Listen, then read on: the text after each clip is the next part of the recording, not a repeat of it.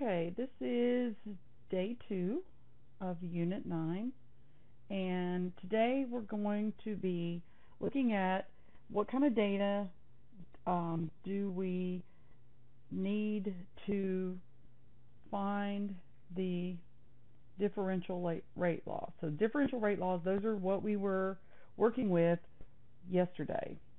And so today we're going to look to see, well, how do they get that from the data? And what this is called, or this process we're doing, it's called the method of initial rates.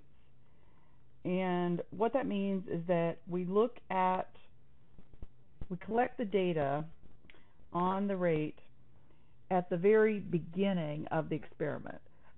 And, and it's, the timing is such that we try to, to uh, do it before been a significant change in the concentration of the reactant. So if you remember back yesterday, we were looking at the graph and how at at the beginning of a graph where we're showing concentration versus time, that it you know that it does appear to be rather linear if we do it at the very beginning.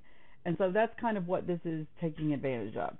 And the type of data that you'll see and the way you know that we're going to be working with differential rate laws is that we're going to have concentrations and rates. That that's going to be the uh, the type of data that we get. And what we're looking for is we're looking to compare the change in one reactant to how it affects the change in the rate, which means we're going to be looking for experiments where we are changing one thing and holding something else constant. So let's look at here, for example. So we know that based on the form of our rate law, that for this, we're going to have rate equals K, and then it's going to have um, carbon monoxide, that's one of our reactants, raised to some power, we'll just call it N, and then chlorine raised to some power, we'll use the letter M for that. Okay, so this is our rate law in general form, and so now we just want to take a look. So if we look at, we want to determine the effect of the carbon monoxide. So I'm looking for two experiments where the carbon monoxide is changing, but the chlorine is not. And so in this case, experiment one and experiment two meet those criteria. So if I look at when I go from 1 to 2, all right, I am doubling the concentration of the carbon monoxide. And when I compare the change in the rate, it is also doubled. So that tells me that my carbon monoxide is first order. Okay, same thing. Double the concentration and it doubles the rate. That means it's first order.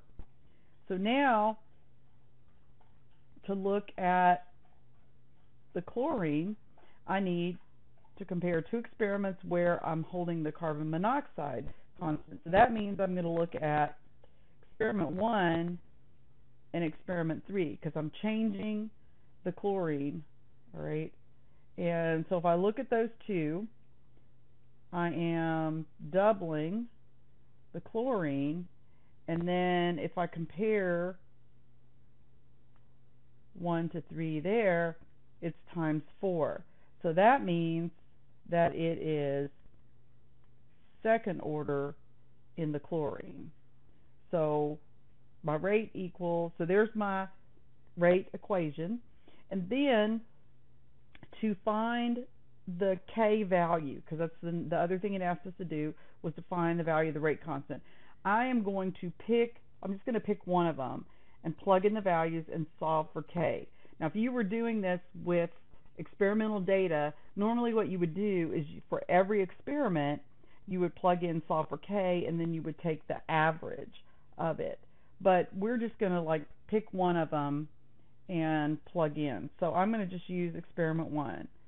So here is my equation. Again, I'm going to start out just writing that. Okay, and so now from experiment one, my rate is 0.121, and the carbon monoxide was 0.12, and the chlorine was 0.2 squared. And so I have 0.121, and we're going to divide by 0.12 times 0.2 squared. And so that gives me a K value of 25.2. And again, remember we said put in our units. So I have molarity cubed. So I'm going to have m to the minus 2, and it's per second, so it's s to the minus 1. So that would be my k value in my unit. Okay. All right, so let's look at this one here. All right, so again, my generic equation, rate equals K, and then I have ICL and H2, and say, well, it's going to go to the M and the N. Okay, so now, let's see, we've got to look to compare my ICL. Um, experiments 1 and 2 will work because I'm holding the hydrogen constant. So here I've got so times 2 and when I look at that times 2 so it's going to be first order in the ICL and then to compare for the H2 I can use experiment 2 and experiment 3 and so for that one 2 to 3 there is times 3 and 2 to 3 there. Let's see, what do we got? I think it's a times 3, but let me double check. 2.2 10 to the negative 6 divided by 7.4 to the negative 7. Yeah, so that comes out to be about a times 3. So it's going to be also first order in the hydrogen. So we're going to find our K value. So I'm going to rewrite it over here. Rate equals K L H2. And so I'm just again going to use experiment 1. So 3.7 times 10 to the minus 7. And then solving for K, and I have 1.5 and 1.5. And so my K value is 3.7, 10 to the negative 7, divide by, and I'm getting that K is 1.64 times 10 to the minus 7. That's going to be molarity to the minus 1, seconds to the minus 1. And then it asks us to find out what is the value for the rate in the last in experiment number four. So let's just, I'm going to move up here and do that. So again, I have rate equals K ICL and H2. So I'm solving for my rate. My K is 1.64 times 10 to the minus 7th, and it's 4.7 and 2.7. Okay, so that's going to be equal to 1.64, 10 to the negative 7, and then times 4.7 and times 2.7. And so that gives me 2.08 times 10 to the negative 6 meter or molarity per second. So that would be what we would plug into right there. That would be that value. Okay. All right, so let's see. Here we've got, um, okay, kind of a similar situation here. Alright, so looking at this one. So again, I have generic rate expression is going to be uh, NO2 to some power and O3 to some power there. Okay, so for the NO2, I'm going to use 1 and 3. Alright, so, alright, so 1 to 3. Alright, so let's see, I have 0.38 divided by 0.21. Okay, so that looks like times 1.8. Okay, and then looking at the rate here, I have 11.4 divided by 6.3, and that's times 1.8. So that's going to be first order, K N O 2 and then for the O3, I'm going to use 1 and 2 for O3. Let me go back and highlight that. And so here, 1 and 2, I have 0.7 to 1.39, which is approximately a times 2. And then here, I have 6.3 to 2.5, which is again approximately times 2. So that's going to be first order and that one. So again, I'm going to use my experiment 1 to find my K value NO2, O3. So 6.3 is K times 0.21 times 0.7. So 6.3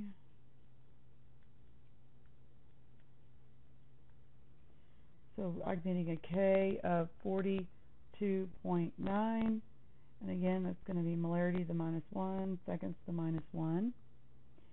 And for experiment 4, if I plug in that value, so I rate, this is for number 4, rate equals 42.9 and then times 0.66 and times 0.18 um, so the rate there, 42.9 times.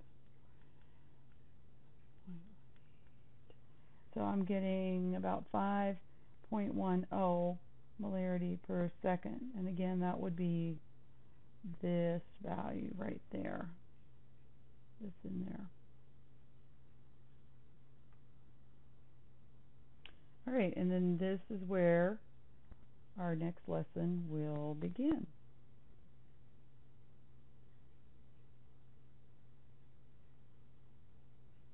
Okay, so now I have some extra practice that we we're going to do in class. So let's just work through these. Alright, so here I have compounds A and B to yield C. And so now I've got, alright, so for A, to find A, I'm going to do 1 and 2. So there. Um, there to there is times 2. And there to there times 2. So it's going to be first order in A. So rate equals K. First order in A. And then for B, I'm looking at 1 and 3. And we have 1 to 3 is a times 2 and then 1 to 3 in the rate is a times 4. So it's going to be second order in B. Then determine the rate constant. So I'm just going to go with experiment 1. So 4 times 10 to the minus 3 is K point, uh, 05, sorry, 0.05 and 0.05. So K is equal to 4, 10 to the negative 3 divided by that. So I'm getting that K is 1.6 And again, that would be molarity to the minus 1, seconds to the minus 1. Okay, now let's take a look at this one. All right, so again, my generic rate law is going to be rate equals K, and then BF3 to some variable, and NH3 to some other variable. So, all right, let's look and see. So I can use, I have several choices. So let's look at 3 to 4 to evaluate BF3. So I have 0.35 divided by 0.2.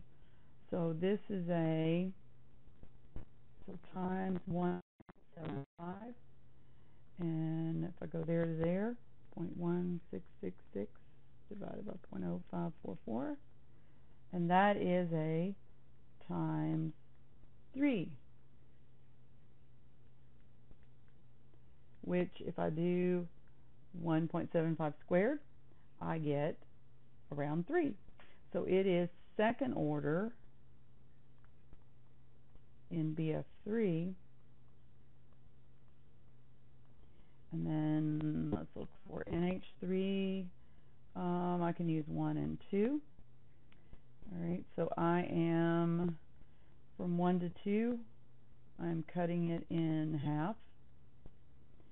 And here from 1 to 2, if I do 0.1065 divided by 0.213, it is cutting it in half.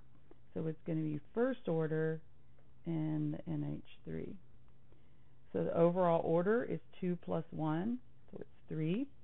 And then the value of the rate constant, I'm just going to use experiment 1, so 0.2130. That's going to equal K, and then I have 0.25 for the BF3 and 0.25 for the ammonia. So my K is going to equal 0.213 divided by that is going to give me 3.408 and molarity the minus 1 no no. Oh wait. There you go. Look what I did. Let's go back. Hopefully you caught my mistake before I did. Okay, what did I forget? Well, I forgot to square that because it's squared in my rate law. So let's try that again. 0.213 and then divided by 0.25 squared and 0.25. There we go. All right. So that means I got K is going to be 13.6 and I have molarity cubed so my units are molarity to the minus 2, S to the minus 1.